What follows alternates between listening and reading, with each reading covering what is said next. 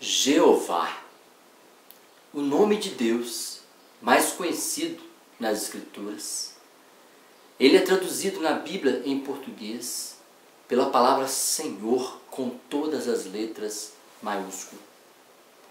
Então, para você localizar onde está essa palavra Jeová na minha Bíblia, você vai encontrar onde tem a palavra Senhor em caixa alta. Ali a tradução de onde estaria o nome Jeová.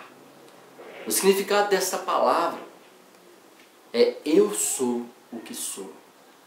E este nome foi revelado pela primeira vez a Moisés, que era um hebreu, mas que havia sido criado na corte egípcia, sem conhecer o Deus de Israel. Foi educado na idolatria, conhecendo outros deuses, com outros nomes, com imagens de escultura. De repente, quando Moisés está no deserto de Midian, ele tem um encontro com Deus. E aí, ele conhecendo este Deus, ele pergunta: né, qual o seu nome?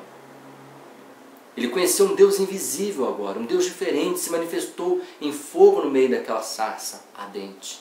E aí Deus disse para Moisés: Eu sou o que sou. E ele disse: Jeová. Este nome representa para nós a autossuficiência de Deus.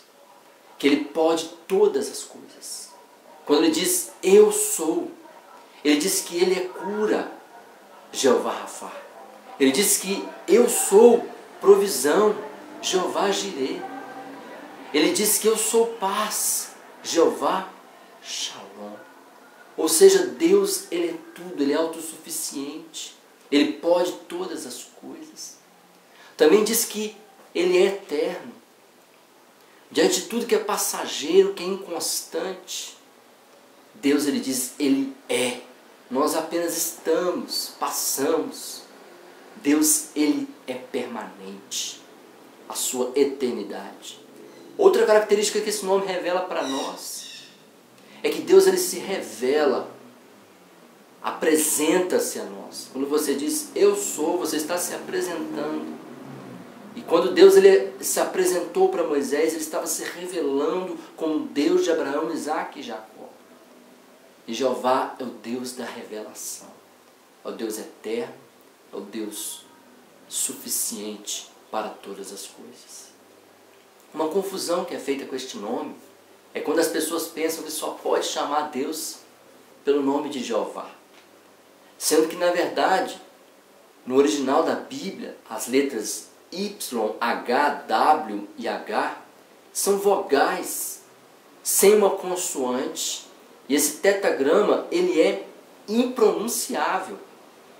Por isso o povo hebreu, ao invés de falar, eles ficam em silêncio, então dizem Adonai, ou Senhor, em reverência ao nome do Senhor.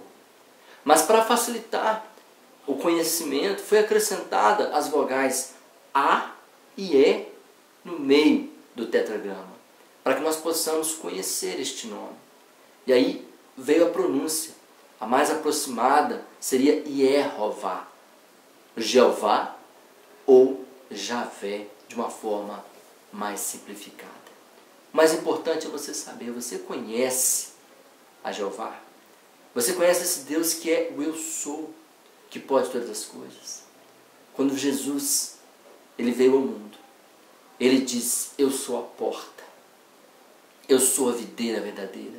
Eu sou a água da vida. Eu sou o pão da vida. Eu sou o pastor das ovelhas. Ele disse em João 8,58: Eu sou. Para conhecer a Jeová, você deve de conhecer a Jesus, o Deus encarnado. E eu quero convidar você a continuar conosco nesta série de estudos sobre os nomes de Deus.